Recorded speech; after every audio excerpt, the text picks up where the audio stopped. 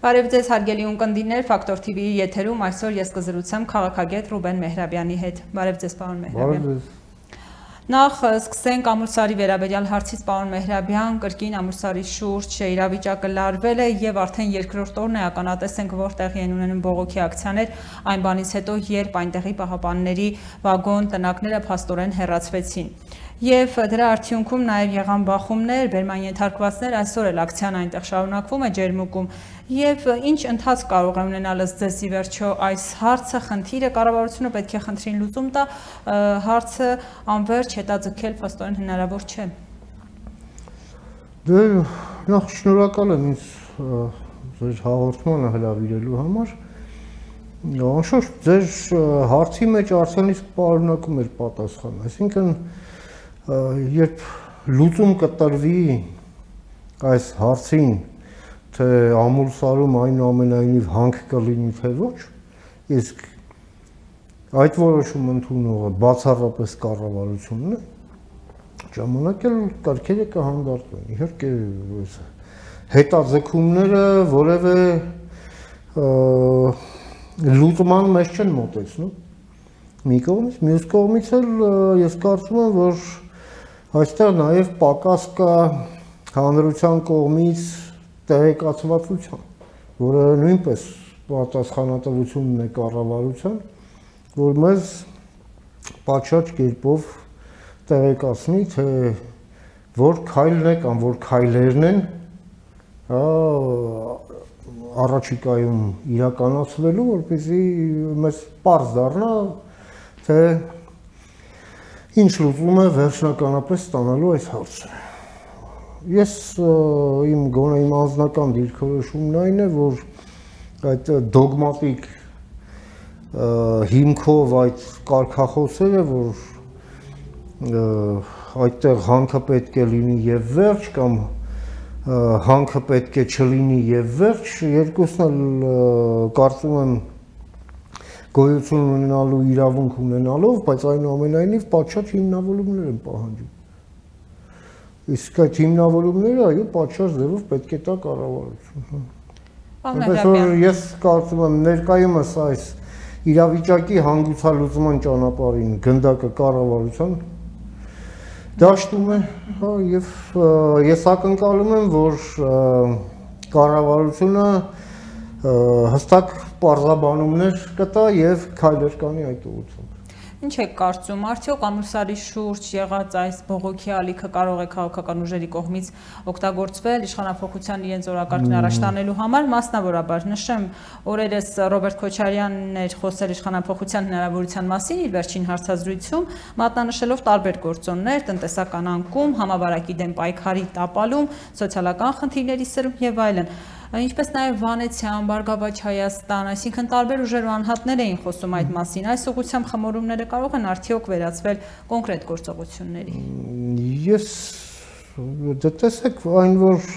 եթե կառավարությունը շարունակի իր հետաձգման, այսպես ասենք, մարտավարությունը, դա իհարկե դժգոհության կարող է բերել հանրության կողմից։ Ինչ ասել է հետաձգում։ Դե այնինչ այս երկու տարիների ընթացքում կատարվում է, հա, այսինքն հարցին լուծում չի տրվում։ Տրվում է մի կողմ, չգիտեմ ինչ հույսով, որ Իրան Իրան կներծծվի, թե ինչ կլինի, չգիտեմ։ Բայց ոչ դրական, ոչ բացասական լուծում չի տրվում, հա։ Սենց միջանկյալ վիճակում արտախված մնում է Ինչպես այո միշտ հղի է այսպես ասենք ինչ-որ դավադրապաշտական տենց հետևություններով չակերտավոր, հա կամ ոմանց կարող է հույս տալ թե չգիտեմ կարող է դա իշխանության համար ճակատագրական դառնալ եւ այլ եւ այլ եւ իրենք պատկերացնում են որ այդ սպիտակ ձիու վրա իրանք են հայտնվելու, ինչը ուղղակի ծիծաղելի է։ Մի խոսքով, սա եւս այն դեպքն է, երբ այո պետք է կրկնեմ, որ գնդակն իշխանության դաշտի։ Ինչ պետք է անի այս իրավիճակում իշխանությունը։ Դե կամ դրական որոշում ընդունի կամ բացասական։ Այսինքն այս արտախված վիճակից, այս միջանկյալ վիճակից այո պետք է հանգես։ Պարզ է, որ եթե որոշվի, որ պետք է հանքը շահագործվի, ակցիաները ավելի մեծ թափ են ստանալու եւ շարունակվելու են։ Հակառակ պարագայում էլ իշխանությունը բազմիցս ասում էր, տուգանքներ կարող են լինել խնդիրներ միջազգային կազմակերպությունում։ Տեսեք, իհարկե, այս հեշտ որոշում չէ բայց եթե հանքը պետք է բացվի, ապա պետք է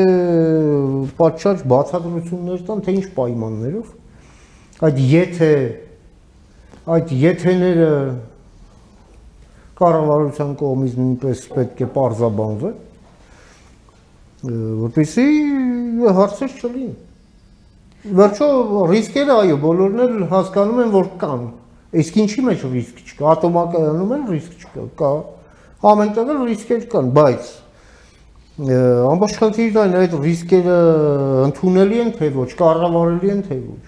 Այդ այդ բացատրություն ասելով ես հասկանում եմ հենց բացատրություններ դրա հետ կապված հիմնավորումներ, բացատրություններ, բայց ցույց եմ ասում, լռություն եւ շարունակական արկախում սա լավ բան չէ։ Պարոն Նահրաբյան, ընդհանուր առմամբ ոչ հեշտ իրավիճակ է ստեղծվել նաև կապված սահմանի հետ եւ ինչպես հայտնի է օրեր առաջ գրակոծներ էին, ռազմական գործողություններ եւ այսօր էլ գիտենք, որ Նախիջևանում նաև շարունակվում են զորաբարժությունները ադրբեջանա-թուրքական լայնամասշտաբ զորավարժություններ եւ այդ գլոբալ սպառնալիքի պայմաններում մենք երկրի ներսում ունենք լարվածության օջախներ, արտաքին ճակատում, ըստ մենք ինչ սպառնալիքներ ունենք։ Օհ Արտաքին սպառնալիքների հետ կապված որևէ էական փոփոխություն տեղի չի ունեցել։ Ուղղակի բնույթի եւ սոլյուցիան առումով փոփոխություններ կան, բայց նաեւ փոփոխություններ կան մեր հակազդեցության կարողությունների, մեր հակազդեցության էֆեկտիվության, հա, եւ Այդ ամենը այս պահի դրությամբ գոնե հավասարակշռում է կամ հակակշռում է այդ սպառնալիքները։ Ինչ վերաբերվում է ներքին այդ ձեր ասած անկայունության օջախներին, այո, այդ անկայունության օջախները հրահրվելու են։ Այդ թվում նաև այսպես ասենք օտար մեր ոչ բարեկամ կամ ոչ բարեկամական նպատակներ հետապնդող պետությունների պրոքսիների կողմից, որոնք վխտում են Հայաստանում եւ որոնցով զբաղվել է պետք եւ որոնցով չեն զբաղվում ցավոք սրտի այո դա այն միջավայրն է որում մենք ապրում ենք եւ այս իմաստով մեզ մոտ քիչ բան է փոխվել Եվ Ռուսաստանի դերակատարությունը ինչպես կգնահատեք Տավուշյան մարտերի օրերին, ինչպես հիշում ենք, վարչապետ Նիկոլ Փաշինյանը Ռուսաստանի դերակատարությունը գնահատեց որպես բացառիկ կառուցողական Կիսում եք այդ կարծիքը եւս ըստ թուրքական վտանգի չեզոքացման առումով ընդհանուր առմամբ ինչ դերակատարություն ունի Ռուսաստանն այս։ Տեսեք այն ինչ արեց Ռուսաստանը շատ բազմաշերտ է։ Այն ինչ վերաբերվում է պաշտոնական Մոսկվա, պաշտոնական Երևան հարաբերություններին, այդ իմաստով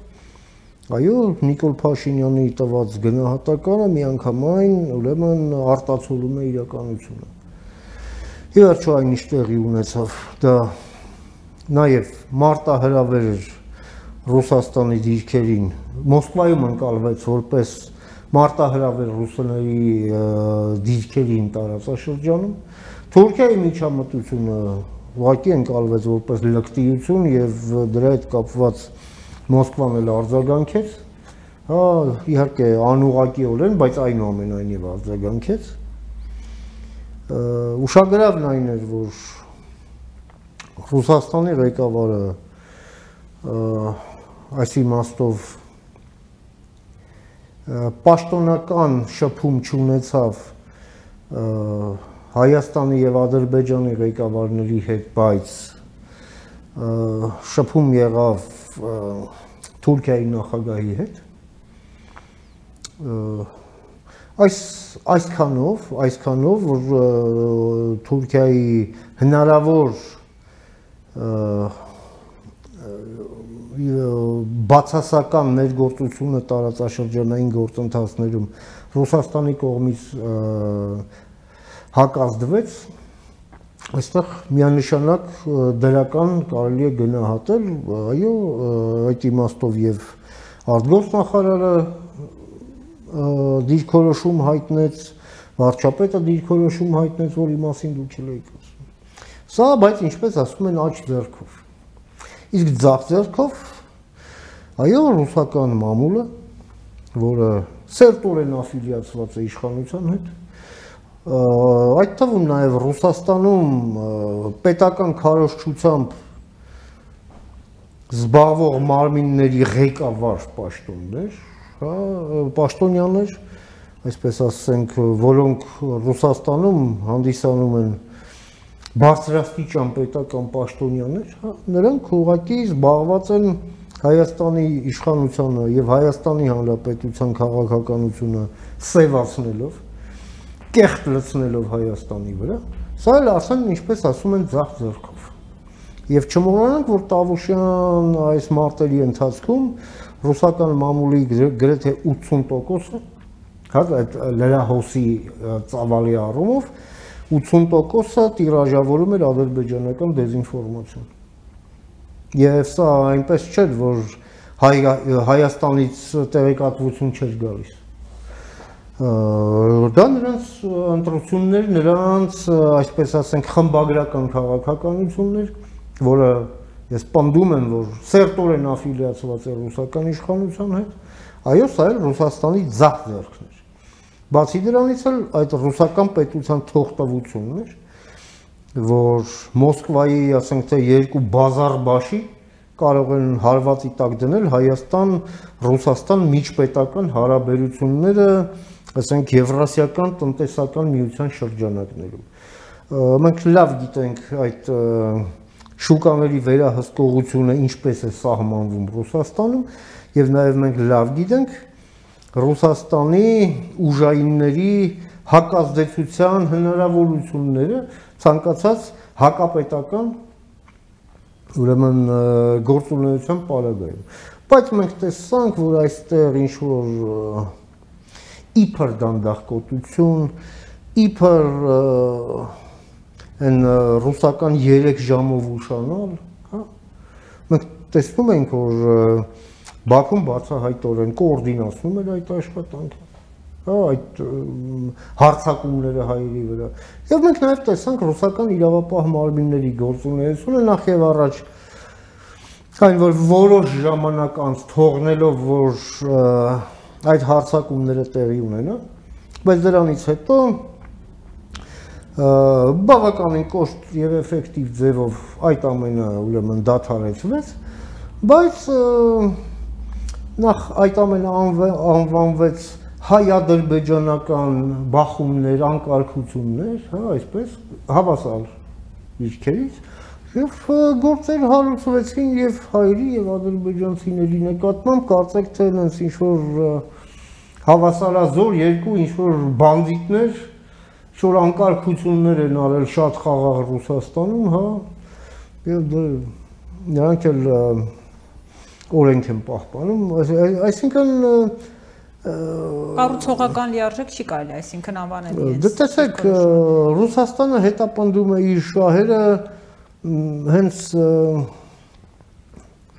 բացառապես իր շահերը, հա, այսինքն այն իմաստով, որ այնտեղ որտեղ մենք ունենք այսպես ասենք համահունչ դիրքորոշումներ, հա, եւ Ռուսաստանի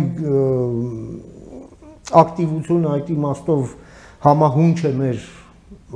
շահերին, ապա ես էլ եմ ասում, այդ ակտիվությունը բացարձակապես պայմանավորված չէ մեր գեղեցիկ աչքերով, այլ բխում է բացառապես Ռուսաստանի շահերից, հա Եվ այն փորձերը, որ կփորձ որ կարող են մեզ վրա վաճառել այդ ամենը, իբրև նենց մի շատ մեծ լավություն մեզ դրան ուղակի տարվել պետք չէ։ Բացի դրանից էլ տեսեք ռուսական քարոշչությունն էլ նաև մի ուղղություններ էր վերցրել. Ակտիվության, դա այն էր, որ փորձում էին Հայաստանին վախեցնել այս թուրք-ադրբեջանական զորավարություններով։ Դա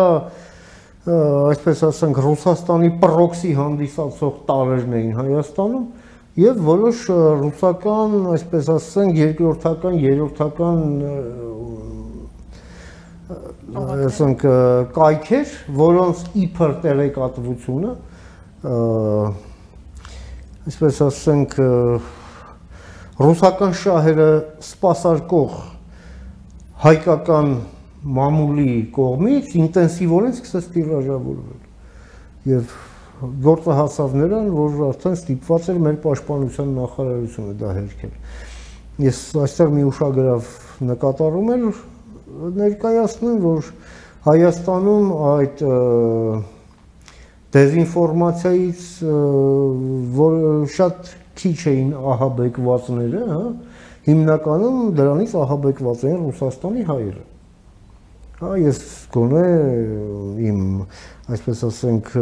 անձնական դիտարկումներով եկա ես այդ եզրակացության նախ նրանք տեղյակ չեն,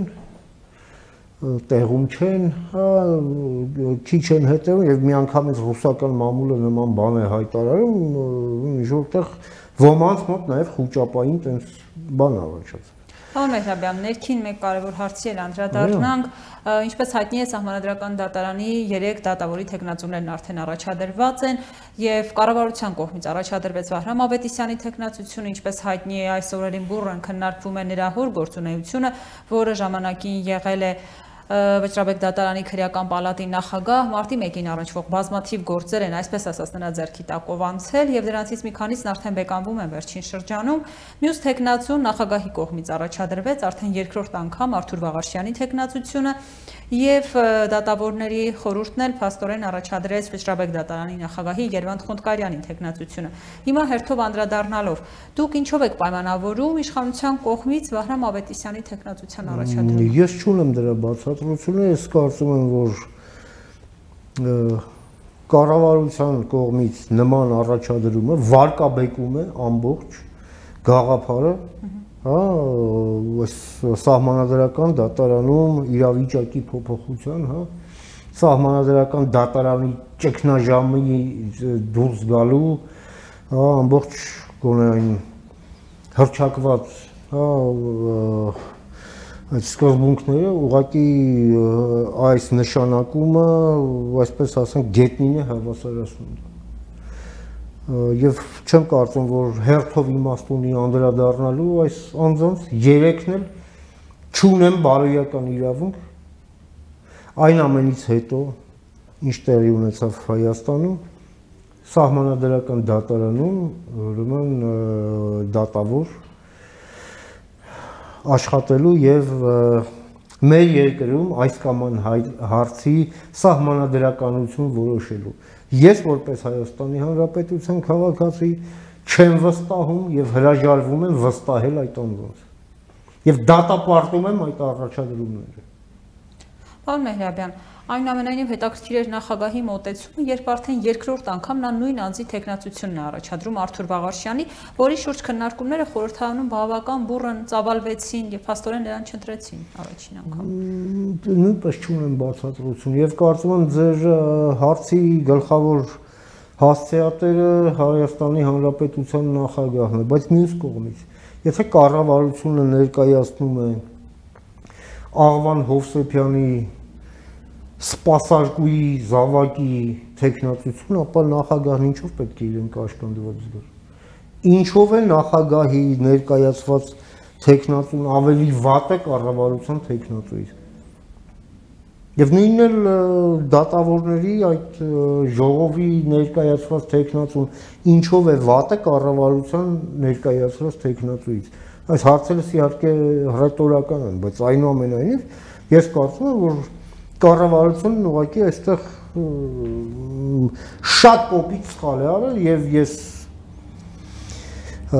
հուսով եմ, որ մեր ազգային ժողովը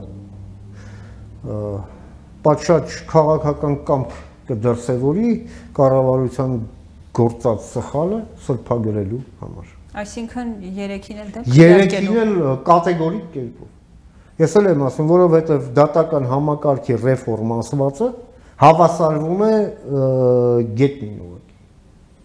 Պարոն Մեհրաբյան, մարտի 1-ի գործով Ռոբերտ Քոչարյանի նկատմամբ առաջադրված մեղադրանքից արդեն 2 տարի անցավ եւ տեսնում ենք, որ գործ նստեյության առաջ չի գնում։ Ինչ է կարծում, ի՞նչն է խոչընդոտ հանդիսանում սրան։ Հարցը համալիր է, հա։ Նախ եւ առաջ դատախազությունը պատշաճ ակտիվություն չի ցուցաբերում մեկ դատավորը ուղղակի այնտեղ ստեղծել է թողտավության մտնոլորտ հա եւ քայլեր չի ձեռնարկում հարցը ըստեյության քննելու համար եւ թույլ է տալիս որպեսզի Քոչարյանի փաստաբանական թիմը հա ամեն ինչը վերածի կրկեսի իսկ նրանք դրանով են զբաղված դատավորն էլ քայլեր չի ձեռնարկում դրա հետ կապված։ Դատախազությունը մենք տեսնում ենք, ինչպես ասացի, պատշաճ ակտիվություն եւս եւ շահագրգռություն չի ցուցաբերում։ Այսինքն միտում եք տեսնում։ Այո, ես միտում եմ տեսնում։ Այլևս ես տեսնում եմ միտում։ Ինչու։ Իսկ Ռոբերտ Քոչարյանի կողմից ես տեսնում եմ անհատակ ցինիզմ, հա, երբ որ բանակային լեզվով ասած իրեն սաչոկի տեղեր դրել հիվանդանոցից դուրս չէր գալիս որպես ծանր հիվանդ, հա։ Իսկ հիմա 32 ատամը բացած հրհրոցով սևաններում թրև է գալիս։ Սա եթե ցինիզմ չէ, ապա ի՞նչն է ցինիզմը։ Հետևաբար ես ել եմ ասում, սա եւս ուղղակի ցանկապես մեր պետության մեջ գործերը պատշաճ ձևով չեն տարվում, չեն վարվում, հա, ընդհանրապես։ Իսկ ինչ վերաբերվում է դատական համակարգին, ընդհանրապես իրավապահ համակարգին, մենք տեսնում ենք վիճակը ողբալի է, ուղղակի, եւ Քոչարյանի դատավարությունն էլ ուղղակի դրա, այսպես ասենք, վառ դրսևորումներից մեկն է եւ ոչ միակը։ Պարոն Մեհրաբյանի դեպ Քոչյանի պաշտպաններն ասում են, որ սահմանադրական կարգի տապալման գործի շրջանակներում չեն կարող լինել տուժողներ, այլ վկաներ։ Եվ իրենք առաջարկում են, որպեսզի տուժողների կարգավիճակ այսքան փոփոխվի, նրանք որպես վկա հանդես գան։ Ինչպես նաև ասում են, որ եթե այդ տրամաբանությամբ գնանք, որ այդ անձինք տուժողներ են, ոչ թե վկա, ուրեմն նշանակում է տուժող է ամբողջ հայ ժողովուրդը։ Ինչպես կարձագանքեք։ Գիտեք ինչ, այո, տուժողը ամբողջ հայ ժողովուրդն է, ըստ էության, հա՞ բայց իրավաբանական առումով ես կարծում եմ գոնե ներկայացված մեղադրական եզրակացության սահմաններում պետք է ուղղակի գործը քննվի ըստ էության, ըստ բովանդակության, հա, եւ ոչ թե ոչ թե զբաղվեն ժամավաճառությամբ, դատավորի թողտվությամբ, հա, եւ դատախազության կողմից, ինչպես ասում են, պոստում քնած վիճակում Հերիք եղավ բոլորով։ Շնորհակալություն զրույցի համար։ Հարգելի ունկնդիրներ, հիշեցնեմ Ֆակտոր TV-ի եթերում զրուցում էի քաղաքագետ Ռուբեն Մեհրաբյանի հետ։